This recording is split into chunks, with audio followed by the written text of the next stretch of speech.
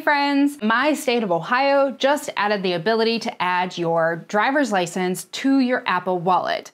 And we're one of the first states to allow this, which is a rarity for Ohio. So I wanted to add my ID to my Apple Wallet, and I thought you guys could walk through it with me, and we'll see how it goes. So on my iPhone, I'm just gonna open up the wallet and then click the plus sign to add something new. And then down here at the bottom, you see driver's license or state ID. And here you can see the states that allow adding your driver's license to your Apple Wallet. Right now, it's only Arizona, Colorado, Georgia, Maryland, and my state of Ohio. So I'm gonna click Ohio, and then it wants me to scan the front of my ID. Click continue.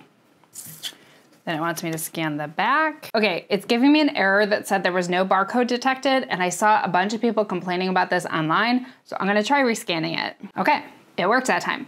So then it says verification required. To average driver's license, you will be guided through several movements of all angles of your face to be scanned.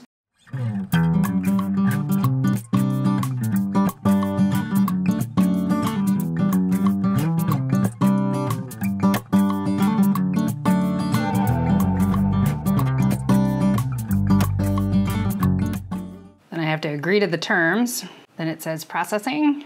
Okay, and it says I'll receive a notification when there's an update. Then it asks me if I want to share my information. No, thank you. So I'll let you know how long it takes. And I got a notification that it's ready. So it took literally two minutes. So now when I open my wallet, I can see my ID there right with everything else. Your government ID can only be added to one iPhone and one Apple Watch at a time. If you want to add it to a new iPhone, you have to delete it from the old one or use Find My app to delete it from a distance. TSA is saying they will start accepting mobile IDs at airports, but they're saying you still have to have your physical ID with you. So I'm not sure if it's really saving you that much time with the TSA. Local businesses can now start accepting the digital ID for things like bars and concert venues.